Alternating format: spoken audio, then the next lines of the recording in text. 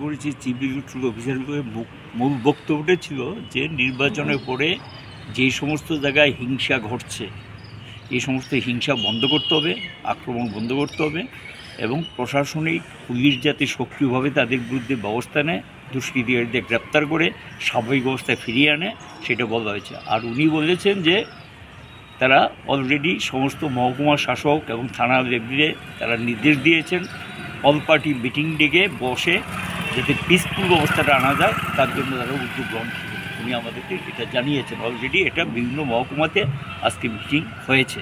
আর বাকি যেগুলো হয়নি, সেগুলো হবে। উনি আমাদেরকে আশ্বস্ত করেছেন আর সঙ্গে বলেছেন যে যেখানে যেখানে এই যত হিংসাত্মক ঘটনা করছে এটা বন্ধে সমস্ত ব্যবস্থা গ্রহণ করতে এবং দরকার হলে প্যারামিলিটারি ফোর্স আরও কিছুদিন রাখা হবে রাজ্যে। এটাও জানিয়েছেন আমাদেরকে।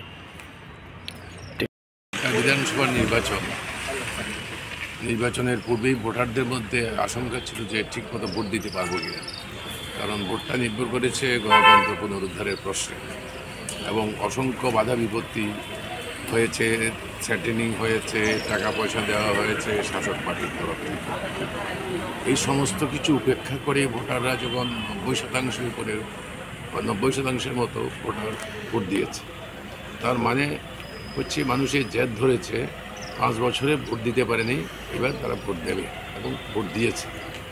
এখন আমরা কমিশনের সিইউর কাছে এসেছি এই জন্য ভোট দেওয়ার পরে এখন বুঝতে পেরেছে শাসক দল তাদের পরাজয় নিশ্চিত। ত্রিপুরাতে সামনে ভোট গ্রহণের পরেই দেখবেন ত্রিপুরায় এখানে জনগণের সরকার প্রতিষ্ঠিত হবে, বিজেপি সরকার আসছে না ক্ষমতায়। এটা বুঝতে পেরেই এখন পরাজয়ের আতঙ্কে আক্রমণ শুরু করেছে। বিশেষ করে সিপাহী জেলা, জিরানিয়া, এই সমস্ত জেলা জিরানিয়া, সিপাহী জেলার আমরা গিয়েছিলাম আজকে বিরোধী দলের নেতা মানিক সরকার সহ বারোটা পরিবার কিচ্ছু নেই নব্বই বছরের বৃদ্ধা থেকে বাচ্চা ছেলে কেউ এই এক- আক্রমণের হাত থেকে বাঁচেনি এবং সবারই ধ্বংস করেছে। এমনকি ঘরে একটা জিনিসপত্র ভাঙচুর ইউটেন্সিলস যা থাকে খাবারের জিনিসপত্র এগুলো পর্যন্ত এগুলো পর্যন্ত নষ্ট করে দিয়েছে। টিভি ফ্রিজ যা আছে সব ভেঙে দিয়েছে। এই একই রকম ঘটনা ঘটেছে জিরানিয়া একজন ছাঁটাই হওয়া দশ হাজার তিনশো তেইশ শিক্ষক, সে শিক্ষক আন্দোলনের নেতা, এই অপরাধে তার বাড়িটাকে সম্পূর্ণ ধ্বংস করে দিয়েছে, সম্পূর্ণ ধ্বংস করে দিয়েছে। আমরা বলেছি, এছাড়া তো নলছর আপনার এতে কাঠালিয়া চলছে চলছে, মানুষের মধ্যে একটা আতঙ্কের পরিবেশ তৈরি করে, ভাবছে যারা, তারা ভোট না গণে জিতে যাবে।